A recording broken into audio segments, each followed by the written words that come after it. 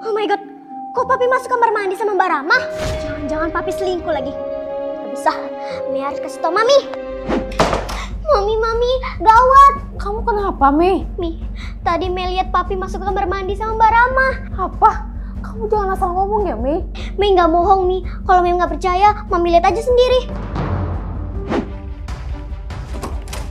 Papi! Papi ngapain berduaan sama Rama di kamar mandi?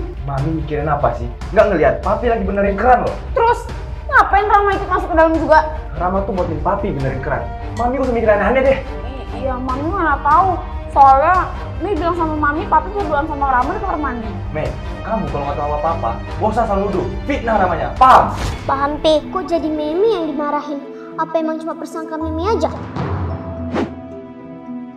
Hai sayang, rajin banget sih kamu. Mas jangan di sini. Nanti kalau Mel lihat terus ngadu sama istri kamu gimana? Kamu tenang aja. Jam segini dia lagi tidur siang. Kita bisa dihoy dengan tenang.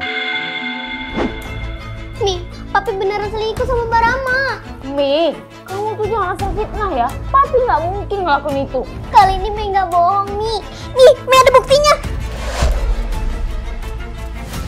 Brengsek. Mi, ayo sekarang juga kita habisin Papi.